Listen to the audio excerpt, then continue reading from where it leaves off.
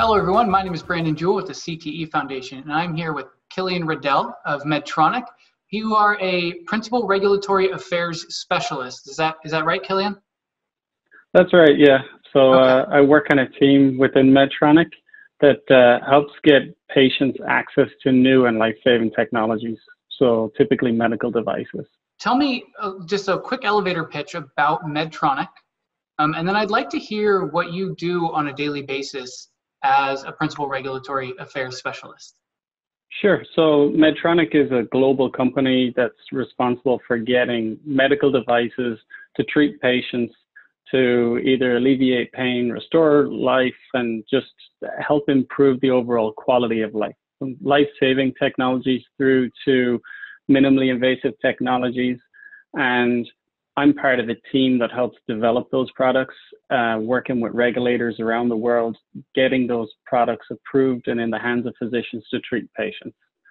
Um, it's uh, it's a, a, very it's, it's got a lot of variety as a role. So on a day-to-day basis, you're not really doing the same thing. Um, you work with people from different backgrounds that are focused on whether it's research and development and innovation or clinical study design, all the way through to marketing and, and publication of either the study data or the actual devices. And then outside of the company, then working with government bodies like FDA and regulators within Europe and around the world to uh, make sure all of the data are there to support the safety and efficacy of devices. So it's quite a diverse role. Hmm. And I suppose that that's that there's a lot to have to work with when you're dealing with something that could go into a human body and save a life. That there's a lot of regulations around that and just safety precautions. There is, yeah, and that's that's one of the things I'm proud about Medtronic that it's it's written into the code. We have a mission that each one of our employees uh, adheres to where you're putting patient safety first. So all of these regulations are in place to protect the patient. And ultimately, what you want to do on a day to day basis is contributing to patient welfare. So what you touch touches the patient eventually. So it's it's quite a rewarding company to work with, and it's nice to know what you do impacts lives.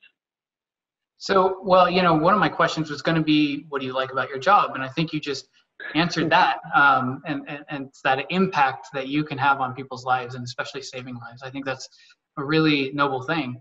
Um, but does that is that also why you got into this career? I'd like to hear about how you decided to, to follow this career path. Sure. Yeah. I mean you know right now it is it is i'm very motivated by what we do and and how it helps people. But if i think back to when i was in high school um, I grew up in Ireland, so our equivalent was um, secondary school. And when I tried to figure out what I wanted to do in college, I looked around me, and, and science was what I was interested in. So I, I went on and I did a bachelor's of science first, and I was I was always interested in problem solving, um, understanding the world around us, and also on the medical side, really interested in the human anatomy and physiology. So I, I took that that leap um, and I'd encourage anyone that's looking to do something in your university is to figure out what it is that you like to do and just go after that because you'll be happy in in just attending your classes, attending your labs, and and everything else will go from there. Um, after I did my bachelor's, then I, I did a, a master's. So I did um, master's in neuropharmacology, and ultimately I knew I didn't want to stay in academia. I wanted to get in industry and, and start contributing to the, the, the kind of development of technologies that could help alleviate pain and, and impact patient life. So from there, I, I found my way into Medtronic. Um, and I worked in the analytical side of things. So looking at the combination of medicines with devices and helping again in the development of those and commercialization. Um, from there, then once I was within Medtronic, you know, I've I've, I've had a, a diverse background within the company, looked at different roles, and each time I, I felt like I had learned as much as I could in a certain area. I'd look across the, the board and see, well, where can I put my current skills to use and what else can I learn? and how can I kind of grow my my my scope and what I want to go after. And that's ultimately what left me in the or led me to the position that I'm in right now. So it's uh, it's a position that you see across a lot of different areas, and you have uh, a technical background that you can contribute to, and again, part of that team that helps get these products out to patients. So it's it's very rewarding.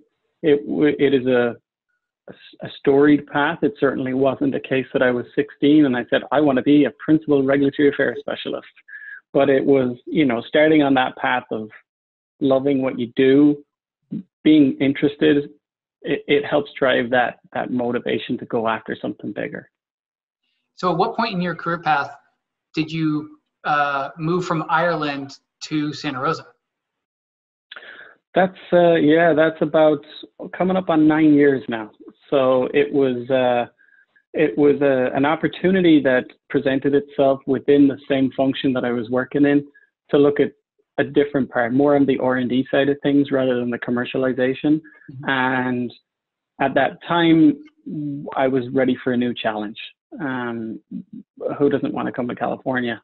It's a beautiful area. We have a, a strong connection with the facility that we had here and when I got a chance to try something new in my career uh, and an advancement and try and live somewhere differently and different lifestyle, I kind of couldn't say no. Well, I think it's great that you, out of all the options that you had, that you chose to come to Sonoma County. I think that's really neat. Um, I think so, it's a testament. I think it's a testament to the fact that we we did come here and and we haven't left. Mm-hmm. Um, and I would say the more I explore within California, never mind outside of California, and when I come back north of the Golden Gate Bridge, it just makes me love this place even more. It's a little piece of paradise. So, what uh, what skills training uh, in in schooling would one need in order to get into a role like what you have?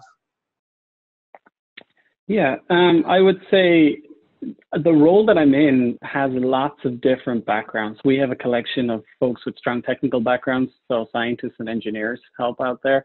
Um, we have folks in the quality engineering, so the design assurance engineering, and we'd have folks from legal, so uh, law school lawyers. We'd have had we have folks on our team from that background, and I would say if you're technical and you have um, a desire to go into engineering um, that's that's a great path in.